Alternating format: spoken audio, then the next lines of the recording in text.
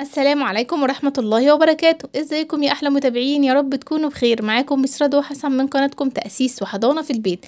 النهاردة إن شاء الله هنعمل مراجعة بين كتاب بكار وقطر الندى في مادة ال math ل prime 2 أو للصف الثاني الابتدائي.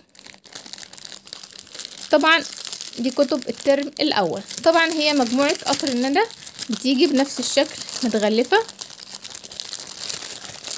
المجموعة بتيجي.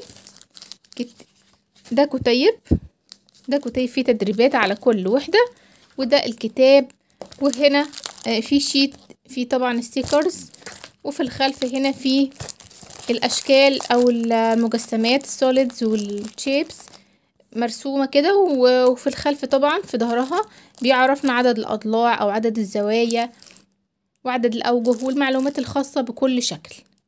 تمام؟ ده كتاب بكار. بيجي برضو بنفس الشكل ومعاه كتيب أو الكتاب الصغير ده الخاص برضو بالمهارات أو بالتدريبات. طيب هنفتح بقى كل كتاب عشان نشوف. هنبدأ بكتاب قطر الندى. تمام؟ هو طبعا الحجم مناسب تقريبا الاتنين في نفس الحجم. تمام كده؟ يبقى ده بالنسبة للحجم. هنبدأ نفتح الكتاب مع بعض.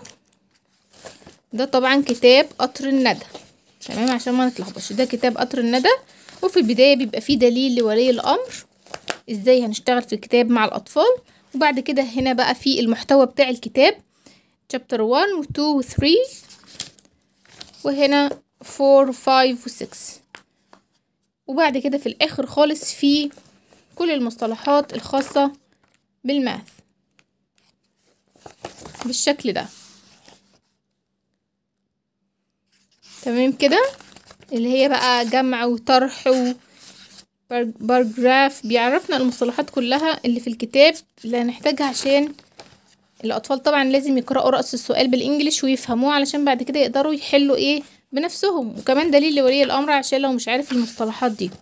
طيب chapter 1 هنفتحه مع بعض. طبعا الكتاب بادئ عامل revision يعني مراجعة على اللي فات. revision 1 و revision 2 ده قطر الندى يا جماعة تمام كده؟ مراجعات و revision 3 تمام؟ وبعد كده chapter 1 اللي هي الوحدة الأولى. وأول درس اللي هو الباراجراف أو التمثيل البياني بالأعمدة. ده كده كتاب قطر الندى. كتاب إيه؟ قطر الندى. كل ده كده تدريبات. طبعا هو الكتاب لونه الورق لونه فاتح. والطبعة بتاعته والألوان بتاعته كويسة وجذابة جدا للأطفال. ماشي ده هنبدأ هنا شابتر 2 كده الجمع بنفس الشكل. في تدريبات وبعد كده شابتر 3 بيعرفنا هنا.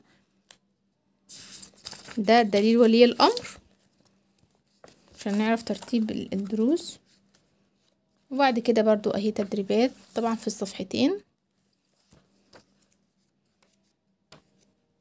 ده كتاب إيه؟ قطر الندى.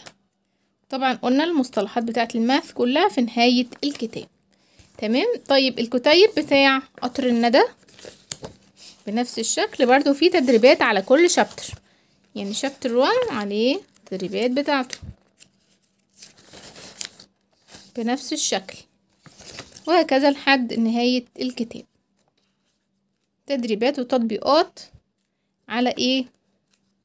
الكتاب. وهنا الساعة في الآخر وهنا نشاط تلوين كده وعد count and color وقلنا معاه اللي هو ال sheet ده الخاص بال بال stickers وبالمجسمات وبالاشكال الهندسية. طيب كتاب بقى بكار. نفتحه برضو مع بعض. math 2 prime 2 برضو 6 chapters. تمام؟ وهنا في skill part في جزء خاص هنا بتدريبات الأطفال عشان يختبروا نفسهم وفي النهاية خالص ال discover هنقول أسعار الكتاب في نهاية الفيديو. الكتابين برضو. تمام كده؟ الجزء الخاص بال discover من ال math هو مجمعه هنا في نهاية الكتاب. طيب في البداية برضو. هنا معرفنا الأدوات كلها واللي الأطفال ممكن يستخدموها وأنشطة. revision يعني عامل مراجعة سريعة. ماشي وهنا basic skill يعني الحاجات الأساسية المهارات الأساسية أيام الأسبوع والشهور. طبعا لازم الأطفال في ال math يعرفوا yesterday today tomorrow. يوميا كده لازم تتكتب النهاردة إيه طب امبارح كان إيه وبكرة هيبقى إيه. وفي نفس الوضع في الشهور برضو. وهنا remember يعني تذكر وجاي بقى إيه مراجعات بنفس الطريقة. طبعا هو الورق بتاع قطر الندى فاتح أكتر من ده. يعني ده أغمق منه شوية. طيب وبعد كده بيبدأ chapter 1 وكل ال vocabulary بتاعت chapter 1 مكتوبة في البداية. يعني هناك في, قطر الندى كانت كل ال vocabulary دي أو المفردات. مكتوبة في النهاية خالص. هنا مكتوبة في بداية ال chapter وبعد كده برضو تم درس برضو ال bar graph اللي هو التمثيل البياني بالأعمدة بنفس الطريقة. تقريبا نفس عدد الوح... الأوراق في ال في الشابتر أو في الوحدة زي بعض. يعني أنا عدتهم زي بعض بالظبط. تمام؟ ده طبعا. هنا برضو في بداية الشابتر شابتر فور المفردات الخاصة بيه. وبعد كده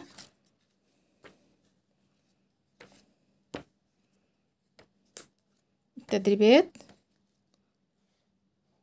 وال time اللي هو الساعة. وهناك برضو كان فيه دي الدروس بتاعت الوحدات كلها. طيب هنا بقى كتاب بكار عامل حاجة من أول صفحة ميتين تسعة وعشرين كده اللي هي إيه؟ self check يعني اختبر نفسك أو الطفل بيبدأ يقيم نفسه زي اختبارات كده على كل ما سبق. self check two self check two يعني اختبر نفسك أو اختبر مهاراتك. تمام؟ ودي أسئلة أهي. وبعد كده برضو اختبار تلاتة اختبار أربعة. five خمسة لحد طبعا ستة وسبعة وتمانية وتسعة. في اختبارات كتيرة الصراحة كتاب بكار. اختبارات كتيرة للطفل. يعني عايز طفل يكون آه متأسس كويس وعايز يشتغل كتير ويحل تدريبات كتيرة. كتاب بكار. تمام كده؟ لأن هو فيه كمية تدريبات كبيرة جدا.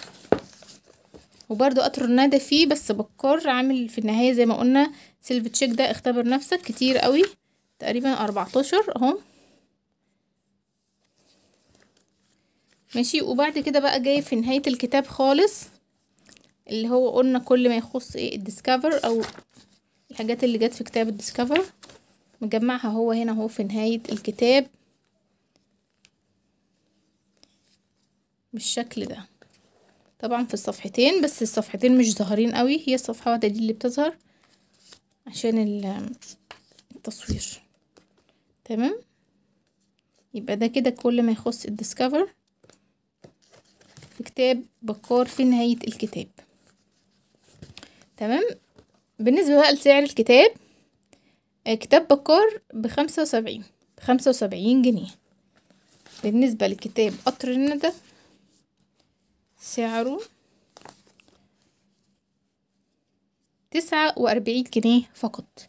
يبقى قطر الندى نقول خمسين جنيه. قطر الندى نقول خمسين جنيه أو تسعة وأربعين جنيه. وكتاب بكار بخمسة وسبعين جنيه. طبعا قلنا إن كتاب بكار فيه كمية تدريبات كتيرة قوي. فأنا أنصحكم لو طفل مش متأسس كويس وما طبعا معظم أطفالنا ما حضروش آه العام الماضي طبعا بسبب ظروف كورونا ربنا يرفع الوباء يا رب. فإيه نقس الكتاب هنا بسيط شوية هيبقى على قد الطفل أو على قد قدراته أو على حسب مستواه يعني. وطبعا الألوان فيه جذابة أكتر وتشد الطفل والورق لونه والطباعة بتاعته جيدة. الورق لونه أفتح من كتاب بكار.